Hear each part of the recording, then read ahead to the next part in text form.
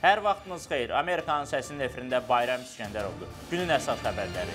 We uh, are on the same page with the United States. Ukrayna diplomatik səylərin davam edəcəyini gözləyir. Rusiya-Ukrayna gərginliyi artdıqca Avstraliya Avropaya qaz tədarücü təklif edir. AŞPA Cənubi Qafqaz ölkələrində LGBT fərdlərinin hüquqlarının qorunmasına dair qətnamə qəbul edib.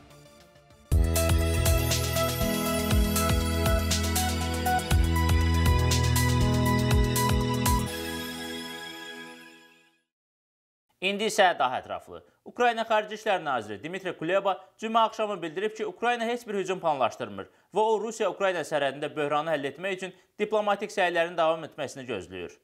We uh, are on the same page with the United States in assessing the Biz diplomatik yola sadiqik və münaqişəyə diplomatik həll yolu tapmaq üçün Rusiya ilə müxtəlif səviyyələrdə əməkdaşlıq etməyə hazırıq. Lakin Rusiya döyüşməyə qərar versə, biz buna cavab verəcəyik. Bu bizim ölkəmizdir və biz onu müdafiə edəcəyik deyə Kuleba mətbuat konfransında bildirib. Ukrayna, Rusiya, Fransa və Almaniyadan rəsmilər çərşənbə günü Parisdə danışıqlar aparıb və Berlində də yeni danışıq raundu keçirməyə razılaşıb. Heç nə dəyişməyib, bu pis xəbərdir. Yaxşı xəbər odur ki, məsləhətçilər 2 həftə sonra Berlində görüşməyə razılaşıb. Bu isə o deməkdir ki, Rusiya növbəti 2 həftədə böyük ehtimalla diplomatik yolda qalacaq deyə Kuleba əlavə edib. Rusiya cümə axşamı bildirib ki, Birləşmiş Ştatlar silahlı münaqişənin qarşısını almaq çağırışının bir hissəsi olaraq göndərdiyi məktubda Rusiyanın əsas təhlükəsizlik tələbini qarşılamayıb. Kremlin sözçüsü Dmitri Peskov deyib ki, Dialoqun davam etdirilməsi mümkündür və ABŞ-ın cavabını nəzərdən keçirmək üçün Rusiya tərəfinin vaxta ehtiyacı olacaq. По основным категориям, которые были изложены Moskvanın təhlükəsizlik zəmanətləri ilə bağlı tələblərinə NATO-nun şərqə, xüsusilə də Ukrayna və Gürcüstana doğru genişlənməsini dayandırması, ha belə NATO-nun Şərqi Avropadakı qoşunlarını geri çəkməsi daxildir. Birləşmiş Ştatlar həmin tələbləri rədd edib və Rusiyanın Ukrayna ilə sərhəddə qüvvələrini geri çəkməsini tələb edib və bunun əvəzinə Moskva ilə hərbi təlimlər və şəffaflıq, eləcə də raketlərin yerləşdirilməsi məsələsində dialoq aparmağı təklif edib. ABŞ-ın Rusiyadakı səfiri John Sullivan çərşənbə günü sənədi Rusiya Xarici İşlər Nazirliyinə şəxsən təqdim edib. Bundan əlavə NATO da Rusiyaya Avropanın təhlükəsizliyi ilə bağlı öz cavablarını təqdim edib. Rəsmilər cavablarda Kremlin narahatlıqlarını aradan qaldırmaq, hə belə bütün tərəflərə diplomatiya aparmaq şansı vermək üçün yollar irəli sürüblər. Ukrayna ilə bağlı gərginlik artdıqca Rusiya enerji təchizatını kəsmək qərarına gələrsə, Avstraliya Avropaya əlavə təbii maye qaz nəql etməyi təklif edir. Rusiya ilə Qərb arasında Ukrayna məsələsi ətrafında gərginlik artdıqca Moskvanın Avropaya verdiyi qazı azalda və ya tamamilə dayandıra biləcəyi ilə bağlı qorxular artır. Covid-19 məhdudiyyətlərinin yumuşaldılması ilə tükənmiş ehtiyatlara tələbatın artmasından sonra Avropa İttifaqı artıq qaz qıtlığı yaşayır. Avropa İttifaqının Qaz tədarükünün təxminən 3də biri Rusiyadan asılıdır və Rusiyanın Ukraynaya müdaxiləsi qorxusu artdıqca alternativ mənbələrə ehtiyac ola bilər. Avstraliya təbii maye qaz və ya LNG üzrə dünyanın aparıcı istehsalçılarından biridir və Avropa ölkələrinə ixracını artırmağa hazırdır. Ticarət naziri Dan Tehan cümə axşamı verdiyi açıqlamada Avstraliyanın indiki çətin və mürəkkəb geostrateji mühitdə dostlarımızı və müttəfiqlərimizi dəstəkləməyə hazır olduğunu bildirib. Avstraliya Tədqiqat Təşkilatı olan Grattan İnstitutunun enerji proqramı üzrə direktoru Tony Wood Avstraliyanın radio yayım birliyinə bildirib ki, Avstraliya kömək etmək üçün əlverişli yerdədir. Rusiyanın Avropaya qaz ixracı əsasən Ukrayna və ya digər Şərqi Avropa ölkələrindən keçən boru kəmərləri vasitəsilə həyata keçirilir. Moskva Ukrayna sisteminin bərbad vəziyyətdə olduğunu israr və qonşusunu qaz oğurluğunda ittiham edir. Analitiklər bildiriblər ki, Rusiya Ukrayna ilə bağlı yaranmış gərginlikdən Almaniyaya Polşa və Ukraynadan yan keçən yeni qaz kəməri planını təbliğ etmək üçün istifadə edə bilər.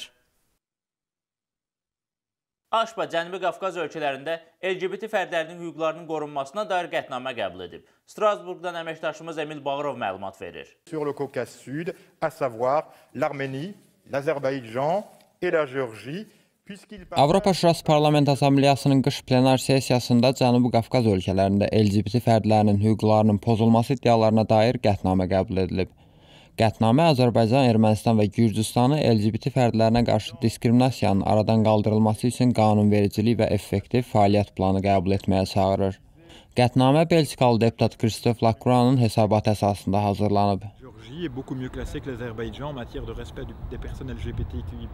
Et donc c'était montré à travers Biz hesabatda göstərməyə çalışdıq ki, ölkənin özünə məxsus mədəniyyəti və ənənələrindən asılı olmayaraq, ümumən insan hüquqları sahəsində olmaqla LGBT fərdlərinin hüquqlarının qorunması istiqamətində irəliləyiş edə, onlara edilən zorakılıqlara qarşı mübarizə apara bilərik. Azərbaycanda qonşu ölkələrlə müqayisədə vəziyyətin daha pis olduğunu deyən Kristof Lacroix bu halın dəyişəcəyinə ümid etdiyini bildirib. La situation en Azerbaïdjan est assez catastrophique pour le, pour le droit des personnes LGBTQI, puisque selon un classement euh, fait par ILGA, LGBT hüquqlarının qorunması üzrə Azərbaycanda vəziyyət çox ağırdır. İLQA təşkilatının hazırladığı indeksdə Azərbaycan son sırada yer alır. Avropa İnsan Hüquqları Konvensiyasına qoşularkən ölkə mədəniyyəti və ənənələrindən asılı olmayaraq cəmiyyətdə müxtəlifliyin qorunması istiqamətində öhdəliklər götürür. Hazırladığımız sənəddə vəziyyətin yaxşılaşdırılması üçün yollar göstərilir. Sənəddə Azərbaycana edilən çağırışlardan biri antidiskriminasiya qanununun qəbul edilməsidir.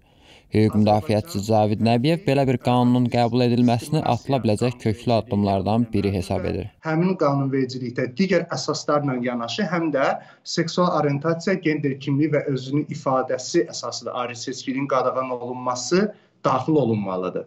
Yəni LGBT-lər də e, qanunla e, belə deyək də antidiskriminasiya qanunvericiliyində müdafiə olunacaq belə deyək də bir e, hüquqi əsasa sahib olmalıdırlar. Plenar iclasda çıxış edən Azərbaycan Milli Məclisinin üzvü Nigar Arpadarayi hesabatla bağlı müsbət fikirlər səsləndirib, bu sayədə atılmalı olan addımların vacibliyindən danışıb. Hər üç ölkədə vəziyyət demək olar ki, oxşardır və aydındır ki, yaxşı deyil. Biz bunu etiraf etməli və mövcud vəziyyətin dəyişməsi üçün çalışmalıyıq. Təkcə siyasətçilərin verdiyi sözlər, qanunvericiliyə edilən dəyişikliklər kifayət etmir. Yerində dəyişikliklər olmalıdır. Sonda qətnamə layihəsi səsverməyə çıxarılıb və 73 əleyhinə, 21 əleyhinə olmaqla qəbul edilib. 7 deputat bir tərəf qalıb. Səsvermədə iştirak edən Azərbaycanlı deputatlardan Erkin Qədirli sənədin əleyhinə səs verib, Nigar Arpadarayi isə bir tərəf qalıb. Strasburqdan Emil Bağırov Amerikanın səsi üçün.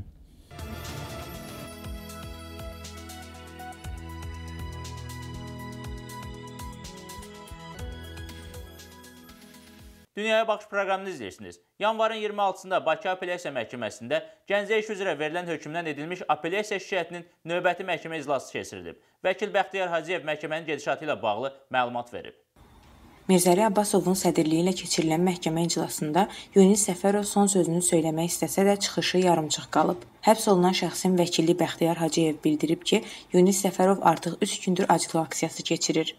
Yunis Səfərovun ə, vəziyyəti, səhhəti bir dəqiqə yaxşı deyil. Biz onunla bu barədə söhbət elə ki, o aclığı dayandırsın və məhkəmənin nəticəsini gözləsin. İndi bilmirəm nə qədər təsir edə bildi, çünki yaxın qohumu sayılan dayısı da bu barədə ondan söhbət edirdi. Ümid eləyirəm ki, o aclıq aksiyasını dayandıracaqdır.